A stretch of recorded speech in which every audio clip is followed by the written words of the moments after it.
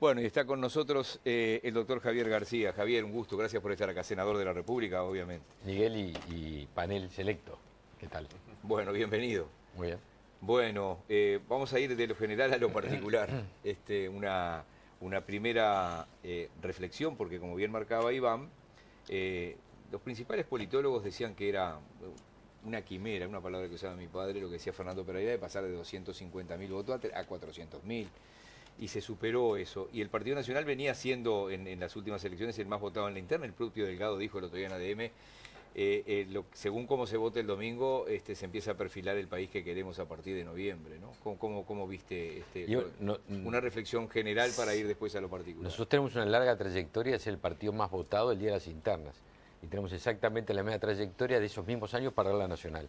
Así que si usted me da, yo prefiero ganar la nacional y no contar los Porque en votos el la 2009, por ejemplo, ganaron la interna y después ganó Mojica 2009, Storni. 2014, 2005, siempre ganamos la interna y perdimos la nacional por goleada.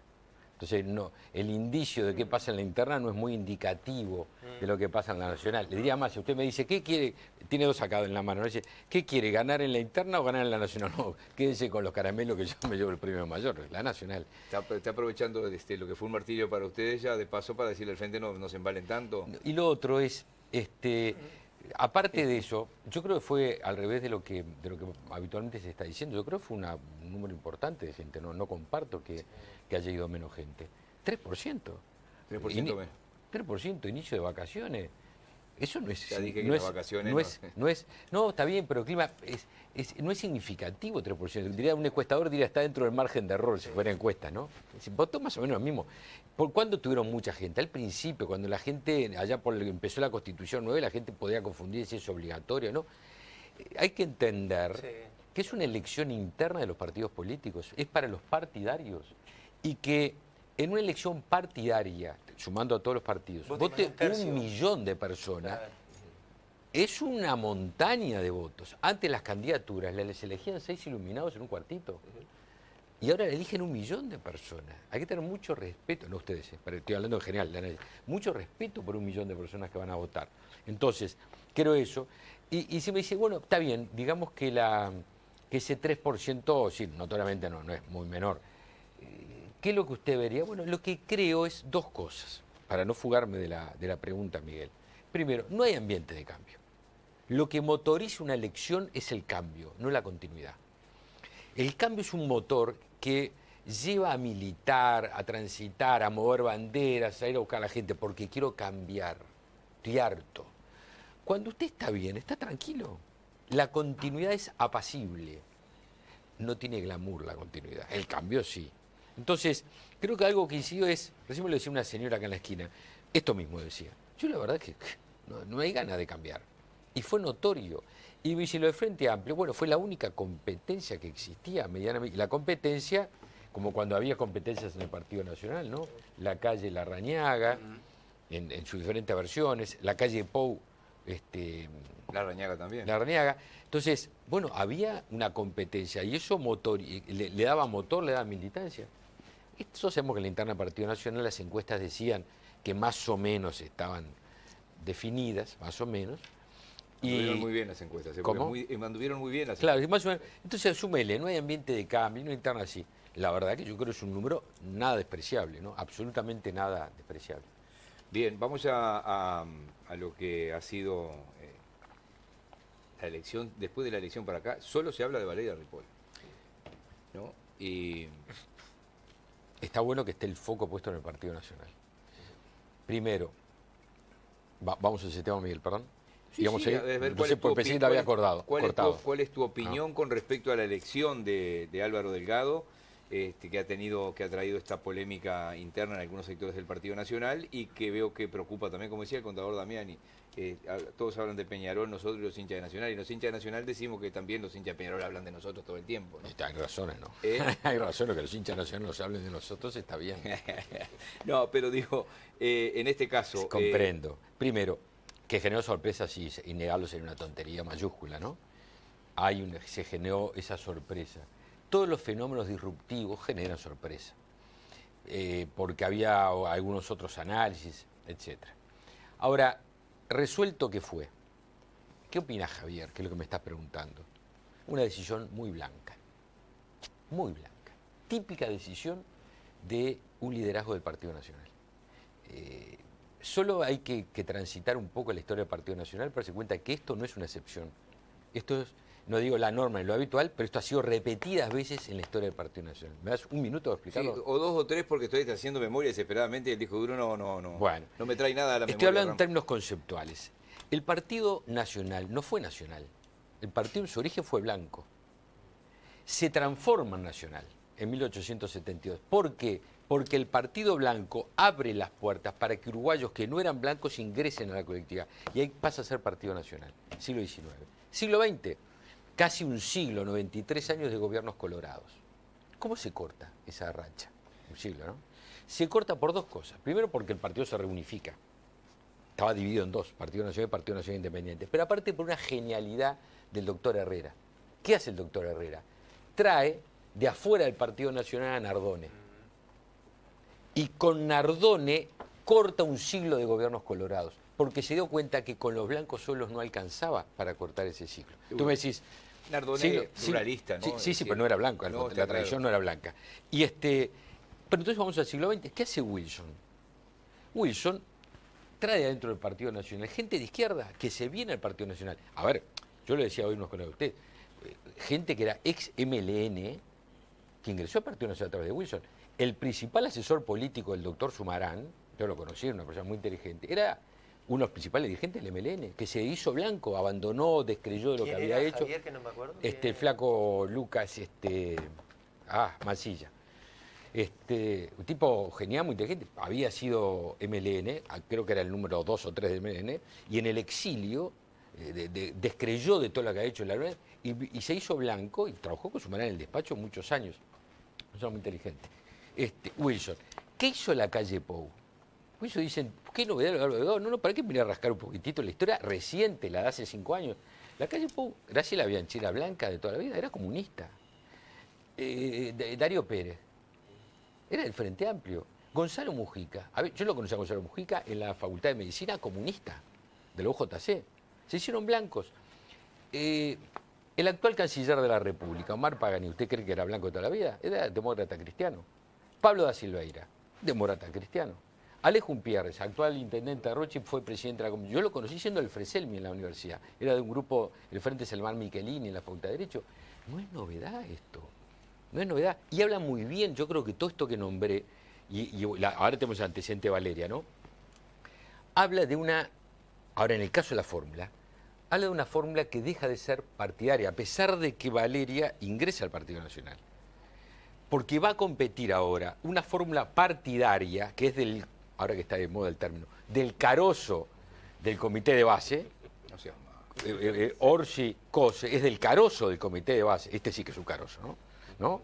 Este, del carozo, contra una fórmula que es nacional. La nuestra es una fórmula nacional que integra a Álvaro, militante de toda la vida blanco, con Valeria, que ingresó al Partido Nacional, pero que todos sabemos que su tradición no es nacionalista. ¿Eso está bien o mal? Está excelente, porque habla de un Partido Nacional que tiene la capacidad de mirar a la sociedad por encima de la ¿Cómo se superan los silbidos y los insultos yo que lo que ese día? a ver, yo lo, mientras lo ¿Te imaginas que, que tengo una trayectoria bastante larga? Tengo 44 años de militancia en el Partido Nacional. 44, especialmente a los 16 años, tengo 60. Así que conozco a mi partido, no digo más que nadie pero soy de los que más los conozco. Y, es notorio que cuando hubo una sorpresa, y hoy, menos de 48 horas después, yo lo que noto es, como decía Antonio recién, gente está diciendo, che, pero, porque uno, hay que diferenciar, eh, los partidos no pueden guiarse por la masa más militante, más, los partidos tienen que convocar, y, no vale este, festejar una interna y perder la nacional. Yo quiero ganar la nacional, entonces nosotros tenemos que tener una postulación que sea como la que tenemos, que sea capaz de hablarle al país y no hablarle al comité de base como hace el Frente Amplio. Entonces, este, yo creo que ya hoy he notado, además de los análisis de, analistas políticos que dicen que fue una idea disruptiva, una idea que la verdad que hizo poner el foco en el Partido Nacional y todos dicen, che, pero ojo porque que puso nervioso al Frente Amplio. El Frente Amplio está tremendamente nervioso con esto.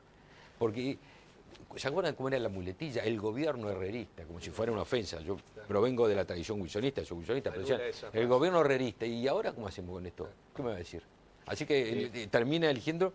Y en tu interna, capaz que no lo vas a decir públicamente, no hay nadie que te dijo. Pero, pero este, esto no le ramo con esto. Miguel. Eh, digo, que te diga esa gente. Acá da Silva nos decía hoy en Carve. Eh, los políticos de izquierda no necesariamente traen votos. Miguel, el este, por eso te dije, por la llegada de Ripola. Por eso, por eso te dije que él fue sorprendió, no, no en mi interna, en todas las internas. ¿Tú estuviste en ADM el miércoles pasado? Sí. Viste que cuando me mandó este el clonazepam varias veces, era clarísimo que no iba a ser Laura Raffo la candidata. Este... Era clarísimo. Este, yo no me tomé ningún clonazepam porque la única vez que me tomé un clonazepam me lo dio mi suegra y dormí dos días. Pero a ver, dependía de los votos. Está bien que dependía del voto, está bien lo que dice Antonio. Claro. Pero si se daba lo que estaban diciendo las encuestas, era clarísimo que Laura Raffo no era. Miguel, una cosa es la sorpresa, que lo hubo, yo le no me en todas las internas, yo estaba en la plaza. Otra cosa es que hay que saber que los liderazgos políticos no se concretan haciendo lo que dice eh, eh, lo que dicen todos. Todos dicen esto, yo hago esto. Los liderazgos políticos tienen que escuchar. Sin eso no hay liderazgo. Hay que escuchar, pero llega un momento que uno tiene que decidir. Y decir lo que le parece que es el rumbo. Porque si uno fuera solo el transmisor, no es líder. Y el líder tiene que tomar esos insumos para decir, pero mire, yo aparte de eso creo que nosotros tenemos que ir a hacer una fórmula nacional que convoque a blancos y no blancos. No podemos encerrarnos este, en la casa del Partido Nacional, así como otros se encierran en un comité, y por eso propongo esto. Y yo lo que noto hoy, Miguel. Sí, señor, estoy, está de varita. Estoy seguro, porque los compañeros están levantando la mano. para acá, para allá. Yo lo que noto hoy decías. Lo que noto hoy es que... No, no, no, no escribía nunca.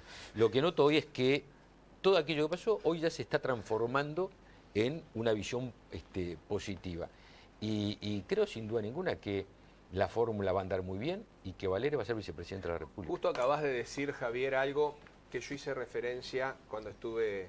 No, sé si estabas, porque en un momento estaba hablando, capaz que... Gran parte de lo que tú dijiste él lo escuchó. Él lo, escuchó, ah, lo escuchaste, bueno, porque yo lo que dije fue que Álvaro está, Álvaro Delgado, está marcando una impronta una fuerza, una decisión justamente con un liderazgo que mucha gente podía asociar como que estaba manipulado. De hecho, no iba a hacer esta pregunta, pero la voy a ah. hacer.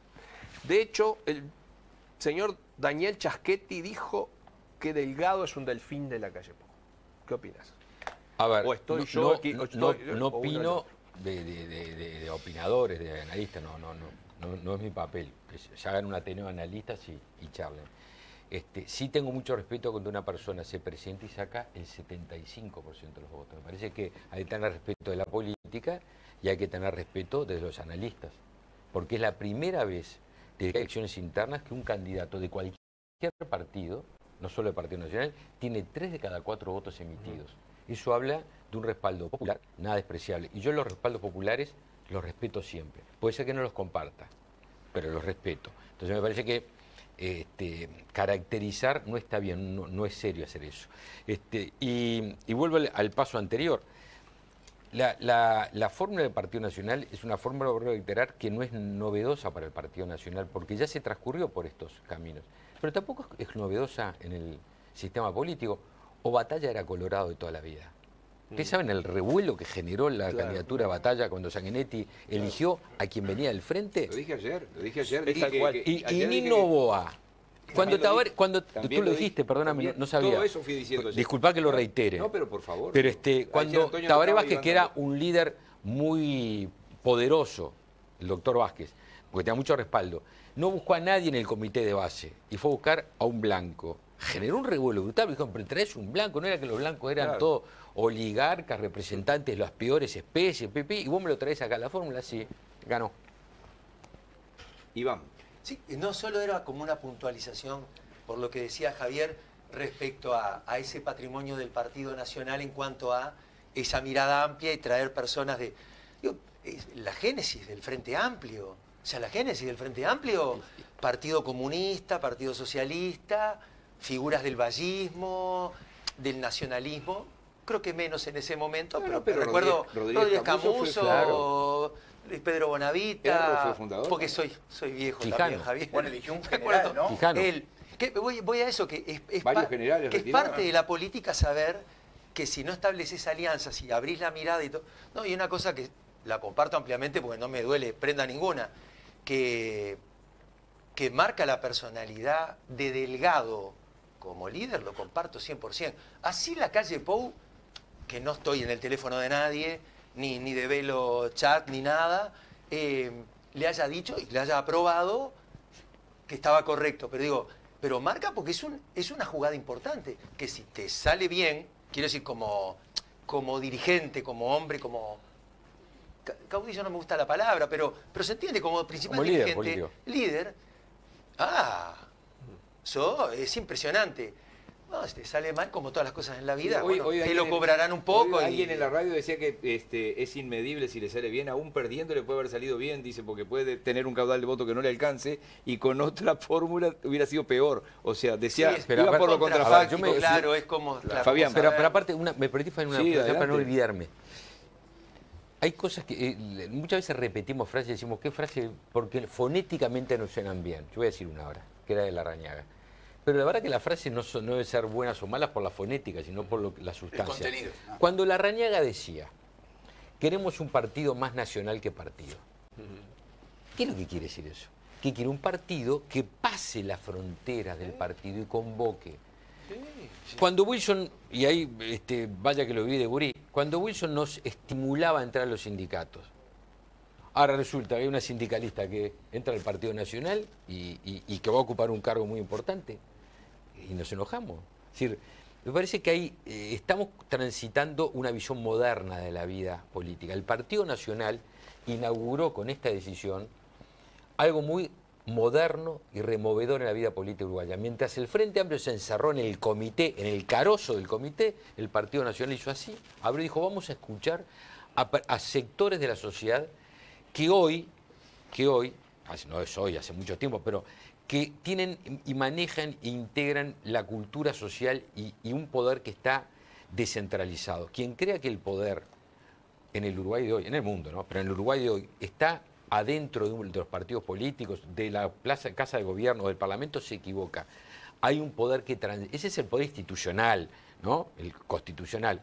Pero hay un poder que se genera en los movimientos sociales, en la cultura, que hay que conocer. Cuando Wilson le dijeron el carnaval, este, los movimientos sociales, la militancia estudiantil que nos motivaba haciendo gurises.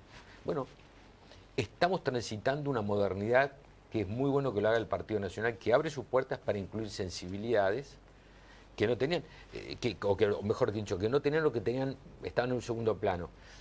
Valeria integra también una sensibilidad que es algo muy importante, ayer lo hablamos en el comando que teníamos con ella también, toda esta participación que tienen en trabajando y promoviendo y, sensibilizando sobre las personas con discapacidad. 300.000 uruguayos que, padecen algún tipo de discapacidad y que ella esté trabajando eso, creo que nos agrega mucho. Le agrega la política. No, no quiero polemizar, porque el invitado es usted. pero lo que no comparto eh, para nada es que lo presente como una novedad. Algo que está en la génesis, por ejemplo, de las organizaciones sociales, del movimiento sindical, que usted las conoce bien. Pero digo, o sea, no, no estoy... me parece que lo que dice es, correcto, pero ¿qué quiere decir? Que tiene... Eh, porque si yo digo, esta fórmula frente amplista se encerró en el comité de base... Eh, es expresión del comité de base, eso no hay duda ninguna. Usted sabe mucho mejor la política de Orsi del punto de vista como dirigente político en su territorio con alianzas y con gente, con la patriada y con... En la comparación... En la y el encuentro progresista se... Ah, en la comparación lo que estoy diciendo creo que es bastante objetivo. Hay una fórmula que son, es del carozo del comité de base, la fórmula, no hay duda ninguna, sale ahí, usted lo eso es comité de base. Y nosotros estamos presentando una fórmula nacional que me parece que es más inclusiva. Esa es la foto, después veremos en el tránsito de la campaña, pero la foto de arranque es esa. ¿La elección de Ripoll va a llevar, Javier, a que la campaña tome un tono más confrontativo? Porque lo que hemos escuchado de ella es hasta ahora mucha crítica, eh, contar incluso su propia historia, no mucha propuesta por parte de ella, hasta ahora no estaba previsto que, cumpliera este lugar. ¿Va a aumentar el tono? Esa es una pregunta. Y la otra, ¿se terminó entonces el discurso del FAPIT? Porque aparecía el del herrerismo, por un lado, y del otro lado es que el Frente Amplio y el PIC-CNT eran lo mismo, que existía el FAPIT. ¿No va más el FAPIT? Dos dos, dos puntos planteaste tú. Primero, decir que no se escucharon propuestas, como, de parte de Valeria me parece un poco apurado, porque hace 24 horas que se te... Por eso, hasta ahora ha sido un tono confrontativo, duro, Y, es, su principal herramienta hasta ahora. Fabián, pero eso no era siendo candidata. Tú estás hablando de una historia que no es la del domingo de noche hasta ahora. y la historia de candidata lleva 24 horas. Y la historia de sus presentaciones públicas ya lleva 12, porque estuvo ayer de noche en dos canales, nunca había estado. Así que parece medio acelerado pedir que una persona haga propuesta en menos de 12 horas, cuando hace 24 que es este, candidata. Pero aparte, las propuestas no son personales. Mm. Eso sería una política muy reduccionista. Las propuestas son partidarias. Es decir, el programa de gobierno refleja la visión no de una persona, no, no refleja la visión de Aloregado. Obviamente que Aloregado tiene un, un, peso muy importante, pero, pero necesita reflejar la visión holística, integral Así que... El tono sí es personal, por eso voy al tono. Y lo, del tono, ya digo, ¿cómo vamos a evaluarlo si llevamos 12 horas? Porque notoriamente que el papel de ser panelista en un programa, si ustedes fueran, lo hago con respeto enorme, si ustedes cinco capaz que un candidato... era panelista, capaz que somos candidatos a la vicepresidencia Pero, si ustedes cinco surgen un candidato, yo estoy seguro que cualquiera de ustedes cinco no va a tener la misma, eh, ¿cómo decir?, flexibilidad de decir cosas como la tienen acá, porque el papel es diferente. No van de panelistas, van de vicepresidentes. Entonces va a cambiar el papel. Es decir, eh, tu papel acá, Fabián, no es el mismo que el papel que tenés como periodista de carnaval, porque son, estás en ámbitos diferentes. Entonces, eh, nadie puede pedir que, nadie puede decir, bueno, como tiene un papel así allá, lo va a tener acá. Es candidata a la vicepresidencia, el programa va a ser el del Partido Nacional. Segundo, porque no voy a escapar de la pregunta que hiciste. Me quedo con una respuesta que es mucho más mucho más no, perdón, pues sería disminuir la, importancia de la pregunta, que, eh, complementa tu pregunta. Ayer le decía un colega tuyo, eh, ¿y usted que juntó firmas por, el, por la LUC? Dijo, me equivoqué. Me equivoqué. Porque la verdad yo dije, repetí, me asesoré con el PIT-CNT, integral del PIT-CNT, y me decían que se iba a privatizar la escuela pública y que y se iban a, a ver desalojos express y que a ver, y todo eso no, no existió. ¿Me equivoqué? Y yo pregunto, Fabián, ¿tú te equivocas? Yo, me, yo antes que ganar, yo me equivoco por hora, no por día. Pero de repente, bueno, yo me equivoco por hora. Sí, puede haber cambiado de opinión. Sí, claro, y eso habla muy bien de la inteligencia de una persona, ¿no? Es decir, hice esto este, y me equivoqué. Yo, la verdad, es que me pongo a pensar para atrás y tengo cantidad de equivocaciones. Y, no creo que me disminuya como persona, ni que me inhabilite como persona. El que no cometió errores está allá arriba. Pero no va más el FAPIT. ¿Cómo no va a ir el FAPIT? Porque varios yo no, yo no soy lo que toda la campaña. yo no soy FAPIT, el FAPIT, son lo mismo. Fabián, yo no soy lo que lo uso porque soy poco apegado a simplificar, entre otras cosas porque soy un poco creativo en ese sentido. Sebastián da Silva asume, me bueno, Seba, veces que lo inventó él con Graciela Bianchi. Seba tiene, tiene este. cosas, es creativo, yo no soy creativo, yo voy, yo soy más de lo, de lo conceptual porque no sé tanto reducir en palabras, es una cuestión de estilos personales. Yo digo que el PIT-CNT lidera la oposición en Uruguay y que el PIT-CNT y el Frente Amplio son lo mismo y que los gobiernos del Frente Amplio terminaron siendo escribanías del PIT-CNT. Y tenemos una prueba, Fabián, que mañana se, va a, mañana se va a concretar pasado, que es el de las firmas de la Seguridad Social, donde el PIT-CNT arrastró así al Partido Comunista, a COSE y al Partido Socialista. Yo pregunto, ¿cuándo, ¿cuándo, tiro así al aire, un periodista le va a decir a COSE, dígame, ingeniera, ¿Va a decir lo que opina o no? fue una pregunta removedora. Una, pregunta removedora. yo creo que se la hemos hecho. Eh, acá no se la hemos hecho porque, porque no vino. digo, ya aprovecho y digo que fue invitada y no vino. Porque se fuga de las decisiones. La empujó el PICHNT y, y se los llevó puestos. Este, y ahora van a hacer malabarismos. Eh, yo supongo que esta semana cosa irá a decir porque dijo. Pero lo este, que le quiero decir es, este, eso, cuando, cuando estaba hablando del PIT, yo creo que el PIT lidera la oposición. Es más, ¿me permiten un minuto? Yo voy a dar dos muestras de esto que estoy diciendo, pero así palpables de la semana pasada. ¿Qué dicen Orsi y COSE?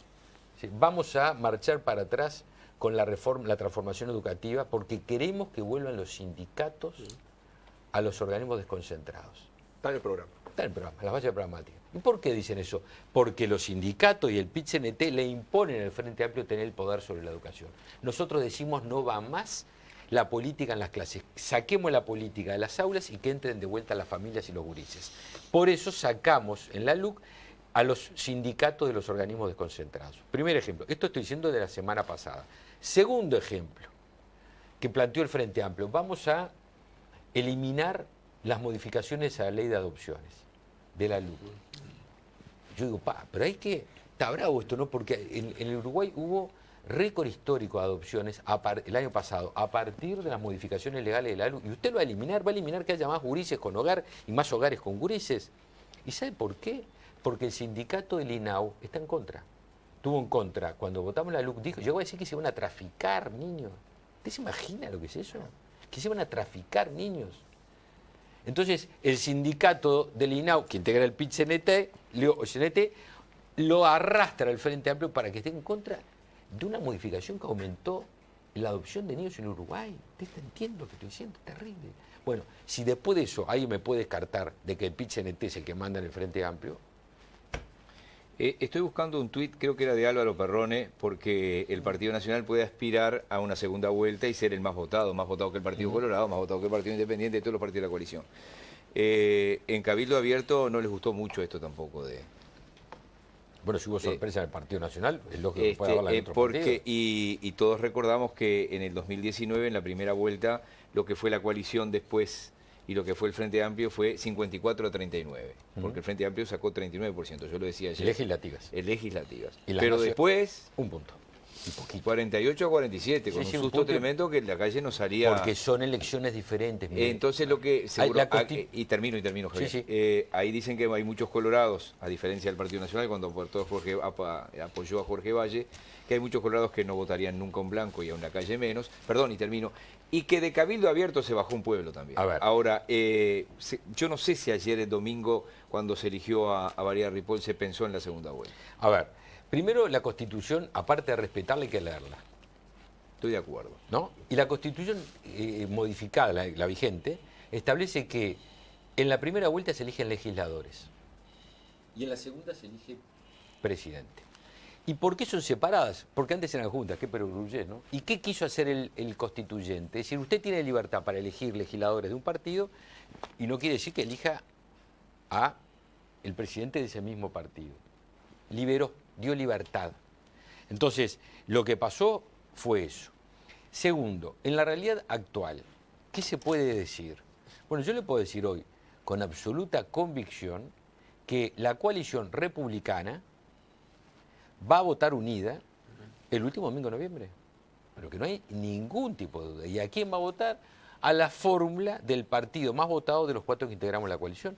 Yo, no. Como soy muy respetuoso de todos los partidos de la coalición, el Partido Nacional obviamente es el partido más grande, pero bueno, estamos en competencia. ¿Por qué? Porque somos partidos diferentes, que competimos hasta octubre y colaboramos de octubre a noviembre.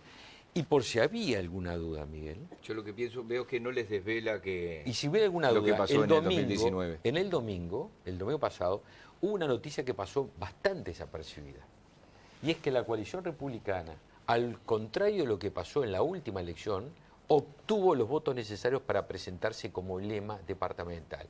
Quiere decir que para aquellos que dudaban de la permanencia de la coalición republicana, ahora tienen dos platos sopa.